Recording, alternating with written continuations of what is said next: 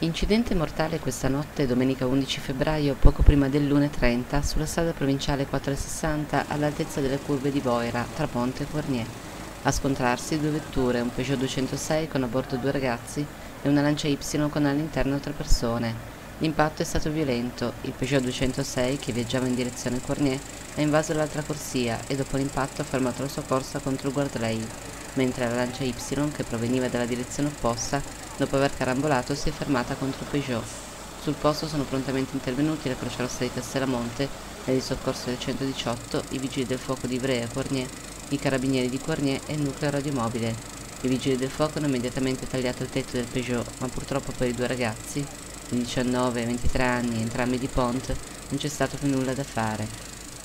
I sanitari non hanno potuto fare altro che constatarne il decesso. Soccorsa anche la famiglia che si trova a bordo della Y. Due occupanti sono stati ieri trasportati al CTO.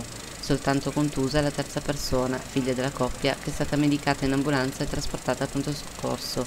La dinamica e le cause dell'incidente sono al vaglio dei carabinieri. Le salme dei due giovani sono state portate in camera mortuaria a Cornier.